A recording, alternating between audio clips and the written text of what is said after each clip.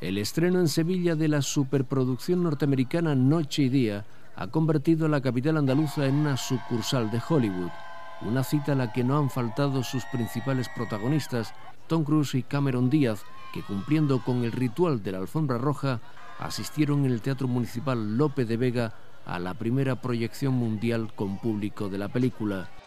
Antes de entrar en el teatro, los actores se dedicaron a firmar autógrafos hasta en el brazo de un admirador, fotografiarse con sus fans y atender a los periodistas.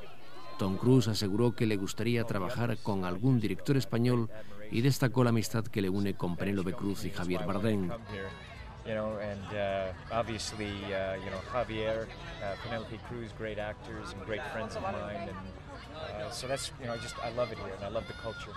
Por su parte, Cameron Díaz bromeó sobre la mala calidad de su español.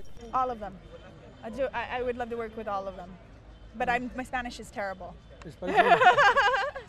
También asistió al estreno el único actor español del largometraje, Jordi Mollá, que destacó el hecho de que la película se estrene en Sevilla.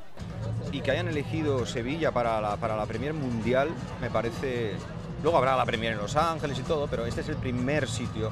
Y eso los americanos le dan mucha, mucha importancia, ¿no? ¿Cuál es el primer lugar donde deciden estrenar la película? Y para España, para Sevilla, es fantástico.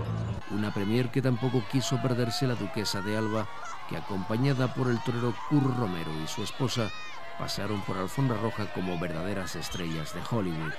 Una jornada en la que los sevillanos y turistas también han podido disfrutar durante varias horas con la recreación de escenas de acción del film donde coches y motos derrapaban junto a la catedral y el Alcázar de Sevilla.